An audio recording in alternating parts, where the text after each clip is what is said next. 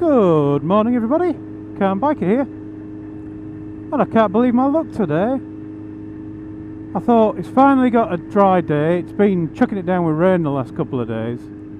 We've finally got a dry day on a Sunday. I thought I'd get a Sunday morning riding. The roads as you can see are drying out nicely from last night's rain. And as I was riding along, I noticed my bag flipping about at the back. I thought, ah, I've done my usual, I've forgotten to zip it up.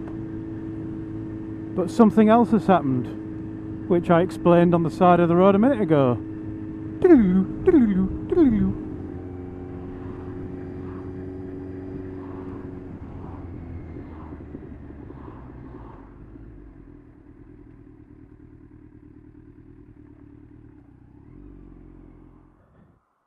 Well, that's a bad thing. I just noticed that my bag was flapping around on the back.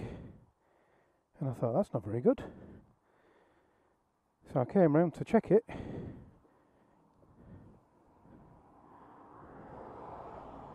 And my seat is broken.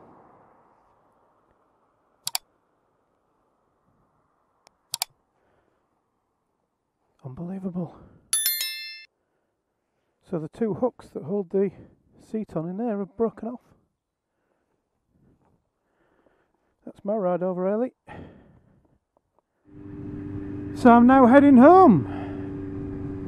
I'm guessing there's going to be no way of repairing that. And I'm going to need a new seat.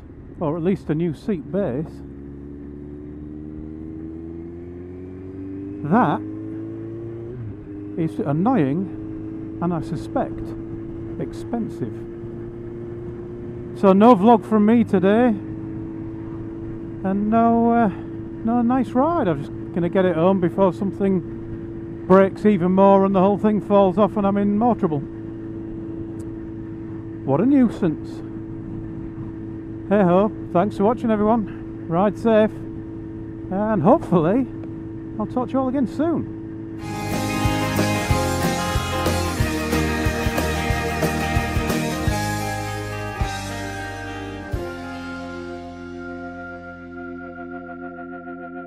you